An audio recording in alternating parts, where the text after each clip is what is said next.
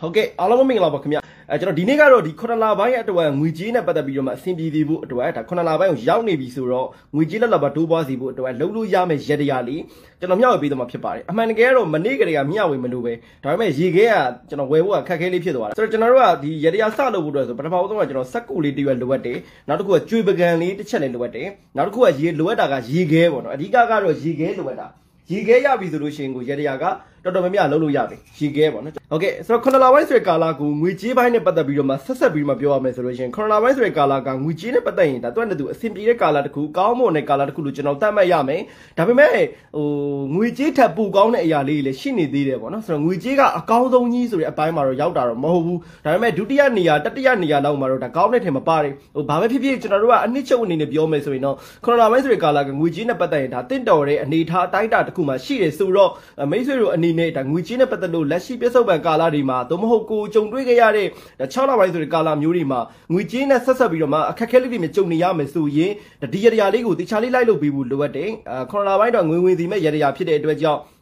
ခုနလပိုင်းမှာကိုယ့်စီးပွားလက်လာပါတိုးတက်ဖို့အတွက်ရေကိုယ့်လုပ်ငန်းလေးတွေအဆင်ပြေချောချောမွေ့မွေ့လေးဖြစ်ပြီးတော့မှငွေချင်းနဲ့ပတ်သက်လို့အကူအညီထောက်ပံ့လေးတွေရဖို့အတွက်ရေလောက်ရမယ့်ရတရားလေးပေါ့ငွေချင်းနဲ့ပတ်သက်တဲ့ရတရားကိုလုပ်ပြီးဆိုတာနဲ့ငွေကြီးကဝုန်းတိုင်းဆိုပြီးမှဝင်လာမှာမျိုးတော့မဟုတ်ဘူးသူကဆက်ဆက်နေတဲ့သဘောတရားစီးပွားရေးလေးအဆင်ပြေလာတယ်အလောက်ကန်လေးတွေအဆင်ပြေလာတယ်သို့မဟုတ်ကိုကဈေးရောက်နေဆိုလဲဒါဈေးရောက်ဝင်တွေကောင်းလာတယ်အဲ့လိုမျိုးလေးကနေဆက်ဆက်ပြီးတော့မှငွေချင်းနဲ့ပတ်သက်လို့ကိုယ့်အတွက်အထောက်ပံ့လေးတွေရတဲ့သဘောတရားကျွန်တော်ဆိုလို့ကျွန်တော်နားလေလားငွေဝင်ရတရားကြီးကိုလောက်တိုင်းငွေချင်းနဲ့ပတ်သက်လို့ဝုန်းတိုင်းဆိုပြီးမှဝင်လာတာမျိုးမဟုတ်ဘူးဗျာအကျိုးအကြောင်းလေးတွေကဆက်ဆက်နေတာဖြစ်တဲ့အတွက်ကြောင့်ဥပမာအကျွေးပြင်ရလိုက်တာပဲဖြစ်ဖြစ်ဗျာသို့မဟုတ်မုံမိုးရတာပဲဖြစ်ဖြစ်ဗျာသို့မဟုတ်ကိုယ့်ရဲ့အလုပ်ကဘောနဲ့ရတာပဲဖြစ်ဖြစ်ပေါ့ကိုယ့်ရဲ့လုပ်နေတဲ့လုပ်ငန်းလေးနဲ့ဆက်ဆက်ပြီးတော့မှသူကလည်းသူအကျိုးရှိလာပြီးတော့မှကိုယ့်အတွက်ကောင်းကျိုးပေးသွားတဲ့သဘောတရားဒီအတွက်ကြောင့်ငွေကြေးပိုင်းနဲ့ပတ်သက်လို့အဆင်ပြေဖို့အတွက်ကျွန်တော်တို့ရတရားလေးတစ်ခုစပြီးတော့လုပ်ကြပါမယ်ခင်ဗျာရတရားလေးစလုပ်ဖို့အတွက်ဆိုမိတ်ဆွေအဓိကလိုအပ်တာကရေခဲဖြစ်ပါတယ်ခင်ဗျာရေခဲအကယ်၍ပေါ့နော်အခုညဒီ live ကိုကြည့်နေတဲ့သူတွေမှာဒါရတရားကျွန်တော်နဲ့အတူတူ live လုပ်လို့ရတယ်ဆိုရင်လည်း live လုပ်ပေါ့နော်အကယ်၍ live လုပ်လို့မရဘူးဆိုလဲဒီနေ့ညဒီဗီဒီယိုလေးကိုကြည့်ပြီးတော့မှ မနက်ဖြန်သို့မဟုတ်တပတ်ခါလောက်မှာဒီရတရားလေးကိုလှုပ်ထားပေးမယ်ဆိုအဆင်ပြေတယ်ဆိုတော့၄ရက်နေ့ဆိုရင်တော့အကောင်းဆုံးပဲမနက်ဖြန်လေးလှုပ်လို့ရတယ်။ तू က၄ရက်နေ့လောက်ကနေစပြီးမှတိတာမှာဘာကြောင့်လဲဆိုတော့ဒီ၄ရက်နေ့ကကြတော့ तू ကချာတာဘရီဂျိုဝင်ကကျတော့သူကကောင်းတဲ့အပိုင်းနဲ့ဝင်သွားမှာချာတာဘရီဂျိုဆိုတာကကျတော့သူကစီးပွားလက်လာပါတိုးတက်တဲ့ဂျိုအဲ့ဂျိုဝင်က၄ရက်နေ့ကနေစပြီးမှဝင်มาဖြစ်တဲ့အတွက်ကြောင့်လောကပိုင်းနဲ့ပတ်သက်တာလေးဒီ9လပိုင်းဆိုတဲ့ကာလမှာဖြစ်ပေါ်လာမယ်ကဲအကောင်းအဆိုးအကျိုးအကြောင်းဒါလေးတွေအားလုံးကဒီ၄ရက်နေ့ကနေစပြီးမှတိတာမှာဖြစ်တဲ့အတွက်ကြောင့်ဖြစ်နိုင်မယ်ဆိုရင်တော့ဒီရရာကမနှက်ဖြန်သို့မဟုတ်တ ပတ်ခါကျွန်တော်၄ရက်နေ့လောက်မှာစပြီးတော့လှုပ်ထားပြီးရင်တော့ကျွန်တော်တို့အတွက်အကောင်းဆုံးပဲโอเคအဲ့ဒါဆိုရင်ကျွန်တော်တို့ဒီ9လပိုင်းအတွက်ငွေဝင်ရရာလေးကိုပြောအောင်ပါနော်ရေခဲတွေကြီးပြောမှာဆိုရင်โอเคခုနလပိုင်းအတွက်ရေဒီယာလေးစလုပ်ဖို့အတွက်ဆိုလို့ရှိရင်ကျွန်တော်တို့ရေခဲလိုရပါတယ်ခင်ဗျာရေခဲပေါ့နော်ရေခဲကိုကျွန်တော်တို့ဖန်ကွက်လေးနဲ့ထည့်ထားပေးရမှာပါခင်ဗျာကျွန်တော်ကရေခဲကိုထည့်ထားတာတော့အပြည့်ပဲဒါပေမဲ့ပျော်သွားတာတော့မတက်နိုင်ဘူးရေခဲလေးကပျော်သွားတယ်ခင်ဗျာဆိုတော့ရေခဲလေးကျွန်တော်တို့ဖန်ကွက်လေးတွေမှာထည့်ထားပေးရမှာဖြစ်ပါတယ်ခင်ဗျာဒီပုံစံလေးရပြီဆိုလို့ရှိရင်ကျွန်တော်တို့နောက်ထပ်စက်ကူလေးတွေပဲလိုပါတယ်နော်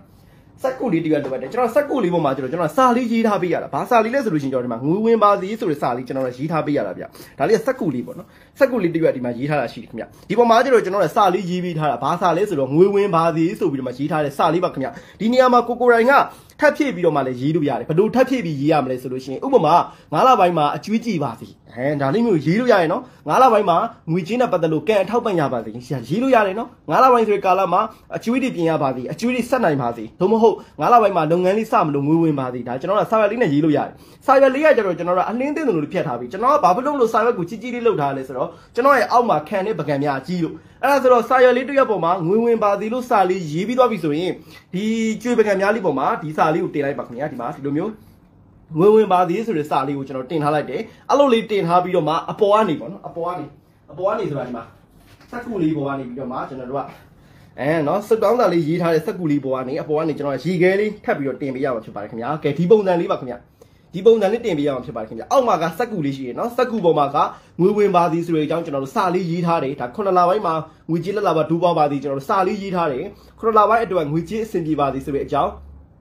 စာလေးရေးပေးထားတယ်ပြီးတော့အပေါ်ကနေရီခဲလေးဖန်ကွက်လေးထဲမှာရီခဲလေးထည့်ပြီးတော့မှကျွန်တော်အပေါ်ကနေတင်ထားတယ်ဆိုတော့ဒီပုံစံလေးရပြီဆိုလို့ရှိရင်ဒါရတရားလေးကစလုပ်လို့ရသွားပြီခင်ဗျအဆင်ပြေပြီဆိုတော့ဒီပုံစံလေးအနေထားမျိုးလေးရပြီဆိုလို့ရှိရင်ကျွန်တော်တို့ကဆူတောင်းတဲ့ဟာလေးတစ်ခုရှိတာပေါ့နော်ဆူတောင်းပေးရမှာဖြစ်တဲ့အတွက်ကြောင့်ကျွန်တော်တို့ကဒီပုံစံလေးကျွန်တော်တို့ဒီလိုလေးကင်ပြီးတော့မှကျွန်တော်တို့ဆူတောင်းပေးရမှာပေါ့ဆိုတော့ခုနလပိုင်းဆိုကာလာမှာဒါငွေကြေးနဲ့ပတ်သက်လို့အဆင်ပြေပါသည်ဆိုတဲ့အကြောင်းခုနလပိုင်းဆိုကာလာမှာငွေကြေးလက်လာပါတိုးပွားပါသည်ဆိုတဲ့အကြောင်းကျွန်တော်တို့ကဆူတောင်းပေးရမှာ ဖြစ်ပါတယ်ခင်ဗျအဓိကကတော့ခုနလပိုင်းအတွက်ငွေဝင်ရတရားဖြစ်တဲ့အတွက်ကြောင့်ငွေကြေးလက်လာပါတိုးပွားစီဖို့ဖို့အတွက်ဆုတောင်းရမှာခရိုနာပိုင်းမှာငွေကြေးနဲ့ပတ်သက်လို့အဆင်ပြေပါစေငွေဝင်ပါစေဆိုတဲ့အကြောင်းကျွန်တော်တို့ဆုတောင်းပေးရမှာဖြစ်ပါတယ်ခင်ဗျာကိုကစီးပွားရေးလုပ်ကိုင်နေတဲ့လုပ်ငန်းလေးတွေလုပ်နေရဆိုရဲဒါကိုယ့်ရဲ့လုပ်ငန်းလေးတွေတိုးတက်ပါသည်ဆိုတဲ့အကြောင်းလေးထည့်ပြီးတော့မှဆုတောင်းပေါ်ဗျာအဓိကတော့ကျွန်တော်တို့ကရေခဲလေးထည့်တာရှိမယ်နော်ရေခဲ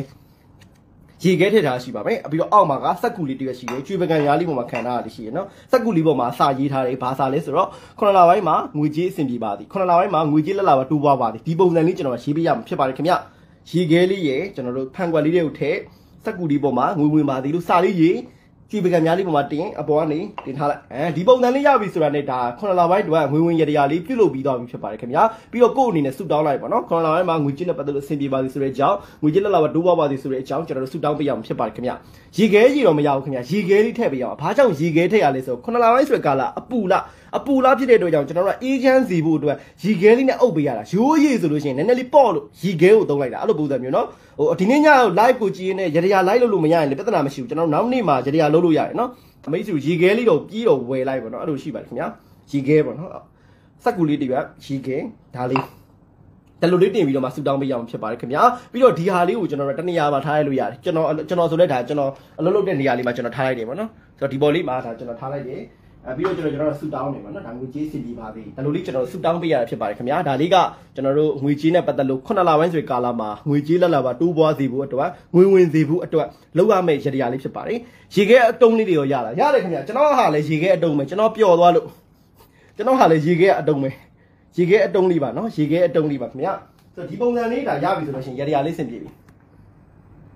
ဒီပုံစံလေးနော်ဒီပုံစံလေးရပြီဆိုလို့ရှိရင်ဒါရတရားဆင်ပြေပြီခင်ဗျဒီဟာလေးကဒါလေးကဒါခုနလပိုင်းအတွက်ရတရားလေးပဲဒီပုံစံလေးနော်